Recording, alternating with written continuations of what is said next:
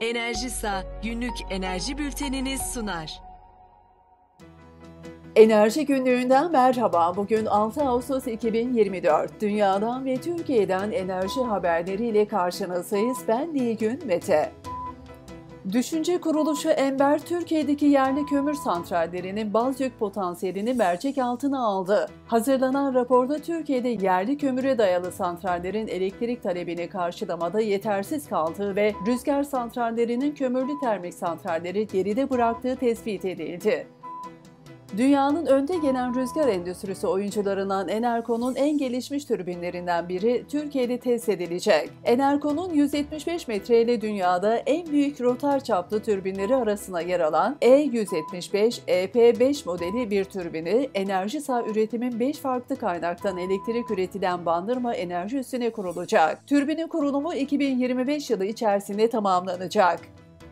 Exim Holding himayesinde düzenlenen ve EPDK tarafından da desteklenen Exim Pulse, enerji sektöründe sürdürülebilir girişimleri desteklemeye devam ediyor. Proje kapsamında eğitimler alıp sektörün önde gelen isimlerinden mentorluk desteği alan projeler bir sonraki aşamada yatırımcıların karşısına çıkacak. Exim Pulse birinci proje için 300 bin TL, ikinci için 200 bin TL ve üçüncü için 100 bin TL ödül verecek.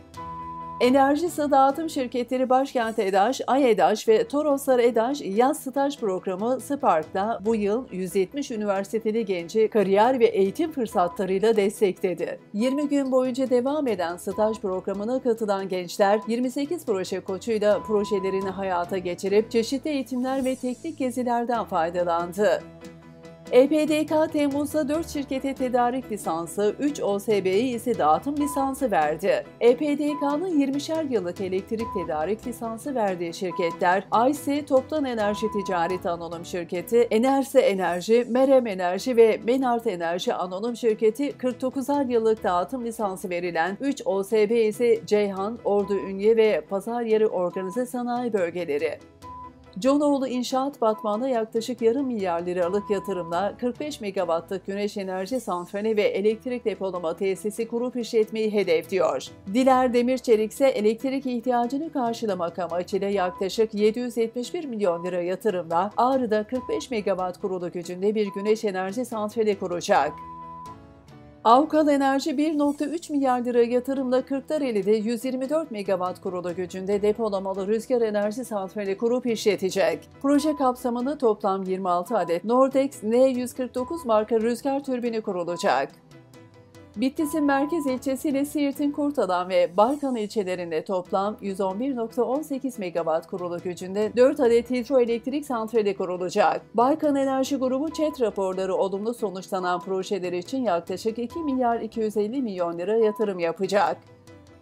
Uber ve BYD işbirliğiyle elektrikli araç kullanımı artacak. Amerikan Uluslararası Ulaşım Ağı şirketi Uber ve Çinli elektrikli araç üreticisi BYD, elektrikli araçları küresel olarak araç çağırma platformuna dahil etmek için ticari ortaklık kurdu. BYD erişilebilir fiyatlandırma ve finansman yoluyla Uber kullanıcılarına 100 bin yeni elektrikli araç getirmeyi amaçlıyor.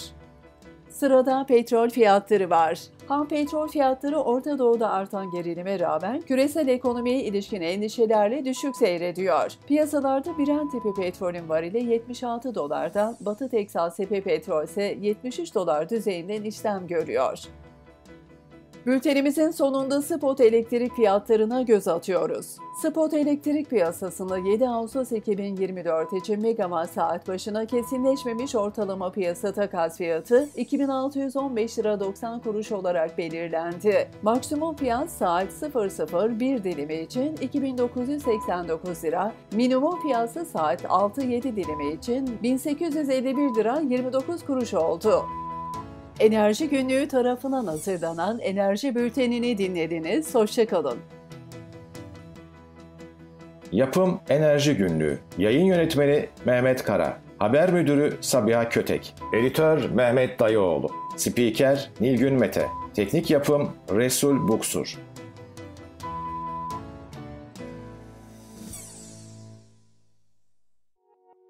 Enerjisa günlük enerji bülteniniz sundu.